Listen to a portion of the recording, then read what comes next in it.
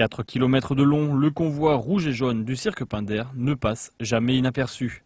Arrivé tôt ce matin à Nîmes, le chapiteau était monté dans les deux heures suivantes. Côté coulisses, les artistes se reposaient avant la première représentation ce jeudi soir dès 19h30. C'est au champ de foire, à côté du marché-gare, que le cirque Pinder s'est installé. On est 147 personnes itinérantes qui sont habituées à monter et démonter tous les jours ce chapiteau géant de 2500 places. Si l'an passé, Frédéric Edelstein était venu à Télémiroir avec un tigre et un lion, cette année, pour son nouveau passage à Nîmes, il arrive avec une nouvelle surprise. Quatre bébés tigres âgés de moins d'un mois. Et ben la surprise cette année, c'est ces charmants petits tigres, il y en a quatre.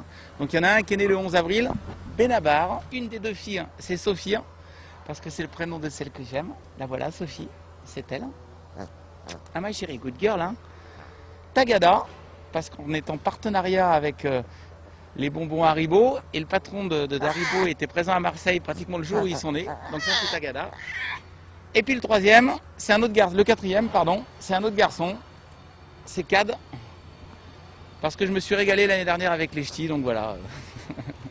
C'est histoire de rigoler, j'ai dit je vais leur donner des prénoms un petit peu différents de, de prénoms de tigre normal. Oui, mais pépère, brave. Hein.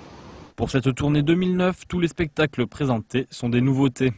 Huit représentations sont annoncées à Nîmes ce jeudi à 19h30, vendredi 8 mai à 16h et 19h30, samedi 14h30, 17h30 et 20h30 et dimanche 14h30 et 17h30.